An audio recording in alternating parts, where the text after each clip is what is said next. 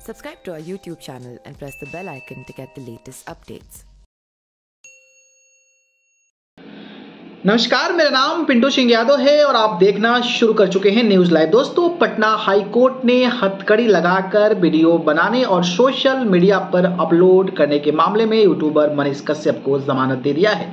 न्यायमूर्ति सुनील कुमार पवार की एकल पीठ ने बुधवार को मनीष कश्यप की ओर से दायर नियमित जमानत अर्जी पर सुनवाई की। गौरतलब है कि आर्थिक अपराध इकाई ने ट्रेन में हथकड़ी लगाकर सोशल मीडिया पर वीडियो अपलोड करने से लेकर गत 12 मार्च को कांड संख्या पाँच बाई तेईस दर्ज किया था और इसी मामले में हाई कोर्ट ने नियमित जमानत दे दी है। हालाँकि मनीष कश्यप अभी जेल से बाहर नहीं निकलेंगे।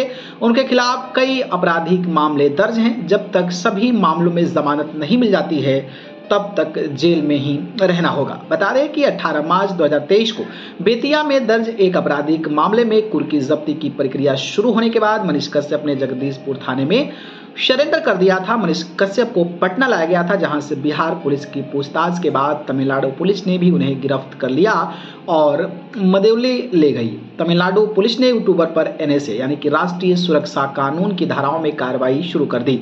हालाँकि बाद में मुदैर मदुरे कोर्ट ने मनीष कश्यप पर लगे एनएसए को हटाने का आदेश जारी किया और जमानत भी दे दिया है। गौरतलब है कि कुछ महीने पहले कि एक वीडियो जमकर वायरल हुआ था। वायरल वीडियो में कोर्ट में पेशी के दौरान मनीष कश्यप ने लालू यादव के खिलाफ बड़ी बात कही थी। हथकड़ी में जकड़े मनीष ने तेजस्वी यादव पर जमकर भड़ास निकाले।